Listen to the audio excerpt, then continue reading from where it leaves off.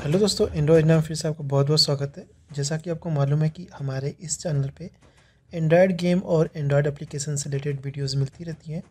तो आज आपके लिए हम एक फ़ोटो एडिटिंग का एप्लीकेशन लेके आए जिसका नाम है टच रीटच बहुत ही फ़ेमस एप्लीकेशन है।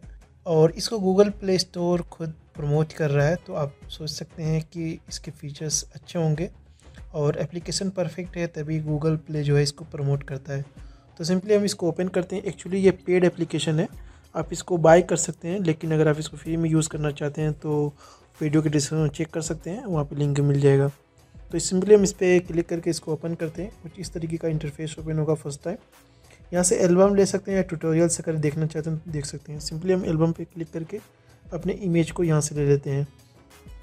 तो यहाँ से फेस ट्यून जो मैं यूज़ किया था, वहाँ से कुछ इमेजेस बाकी हैं तो मैं उसी को यूज़ करता हूँ। एक्चुअली जो ये एप्लीकेशन है वो रिटच करने के लिए किसी के फेस में अगर कुछ इस तरीके के पिंपल्स हैं या कुछ इस तरह के दाग धब्बे हैं तो इस तरह की फ़ोटो को आप आसानी से एडिट कर सकते हैं। सिंपली देख सकते हैं बहुत ज़्यादा इसमें आ, मतलब ऑप्शन नहीं दिए गए तीन या चार ही ऑप्शन है उसी में आपको काम करना है। सबसे पहले ऑब्जेक्ट रिमूवल इस पर क्लिक करके आप किसी भी ऑब्जेक्ट को रिमूव कर सकते हैं।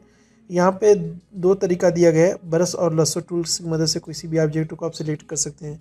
फॉर एग्ज़ाम्पल यहाँ पे कोई ऑब्जेक्ट अगर आ रहा है, हम उसको सिलेक्ट कर लेते हैं। सबसे पहले सॉरी यहाँ पे ये यह सिलेक्ट हो गया।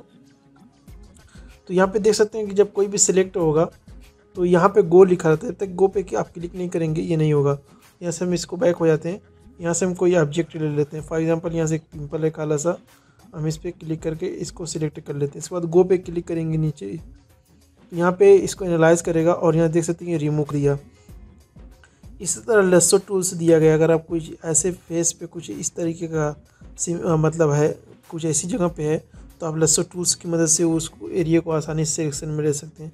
फॉर एग्ज़ाम्पल हम यहाँ से कुछ ऐसे ले लेते हैं इस तरीके से लेसो टूल इसके बाद गो पे क्लिक करेंगे तो यहाँ की स्किन को जो है वो स्मूथ कर देगा। तो आप देख सकते हैं इस तरीके से कर सकते हैं। इरेज़र जो है आप किसी पार्ट को आप इरेज करने के लिए कर सकते हैं। इसके बाद बढ़ते हैं इसके दूसरे फीचर की तरफ़।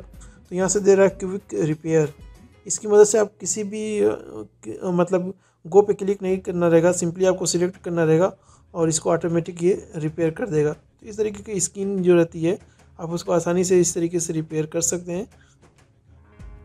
इसी तरह देख सकते हैं, इसके बाद दिया है ब्लमिस रिमूवर तो ब्लमिस रिमूवर से आपको मालूम ही है कि ब्लमिस किस तरीके को कहते हैं। तो ये सब चेहरे पे ये ब्लमिस है।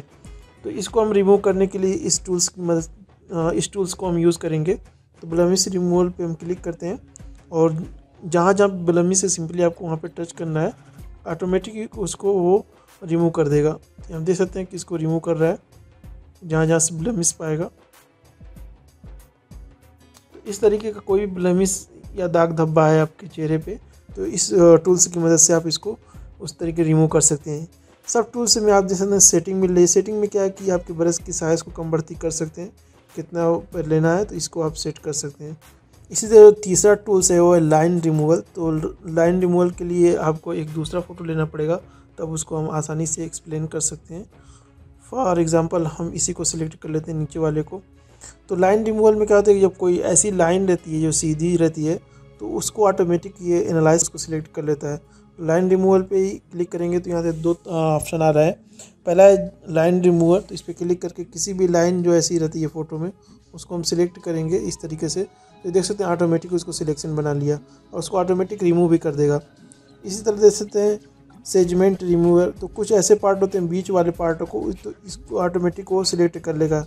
उसके बाद ऑटोमेटिक वहाँ से उसको रिमूव भी कर देगा। तो देख सकते हैं इस तरीके का अगर कोई फ़ोटो एडिटिंग में काम करना है तो इस टूल्स की मदद से आप कर सकते हैं। इस तरह अगर किसी फ़ोटो में आप क्लोन करना चाहते हैं कोई पार्ट तो इसको यूज़ कर सकते हैं। तो यहाँ पे देख सकते हैं, एक एक जगह से आपको ब्रश लेना पड़ेगा।